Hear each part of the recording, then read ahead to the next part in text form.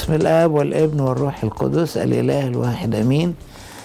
الفداء والصليب بيفكرونا بملاك العهد القديم الملاك المهلك بتاع الضربة العشرة.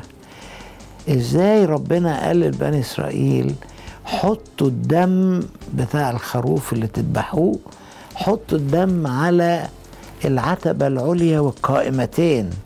متصورين الباب الباب له كده عتبة عليا وبعدين قائمتين خشب كله ده بالخشب.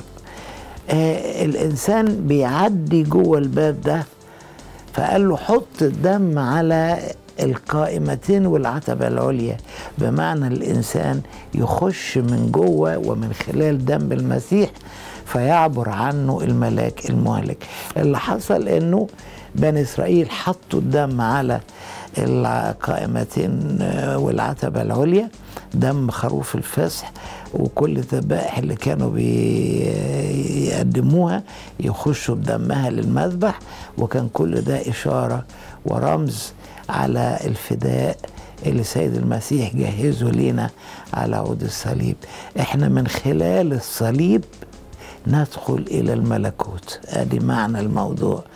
إن أنا متغطي بالدم وبعبر خلال الدم الملاك المهلك بيعدي وأنا أقدر أخش إلى الملكوت من خلال دم المسيح الذي غفر لي خطاياي رغم إن أنا خاطي وما أقدرش ابدا أتنصل من خطاياي لكن هو بيغطيها لي بدمه عشان أقدر بعد كده من خلاله أدخل إلى الملكوت وأحيا معه إلى الأبد في أورشليم السمائية.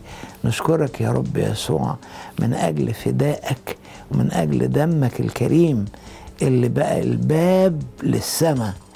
إحنا بندخل من خلال هذا الدم إلى السماء لأن الملاك المهلك هيعبر والخلاص هيأتي لك كل المجد من الآن وإلى الأبد.